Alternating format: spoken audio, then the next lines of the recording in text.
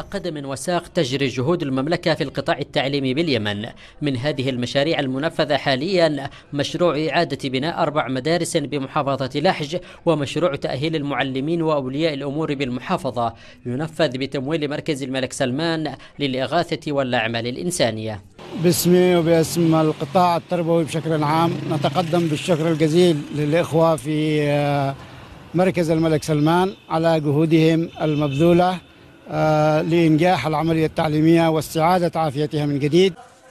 في عدة محافظات يستهدف مشاريع مركز الملك سلمان للإغاثة الجوانب التعليمية بعد أن تعمدت الميليشيات تدمير قطاع التعليم وتجهيل الأجيال.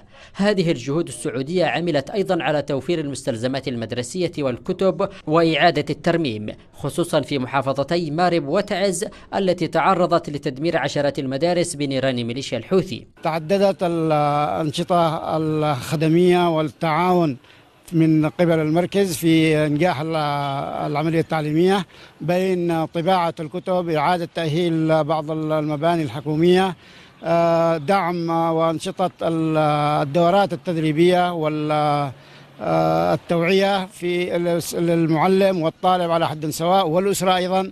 هذه جهود لن ينساها المجتمع اليمني ولن ينساها القطاع التربوي آه، في جميع محافظات الجمهورية.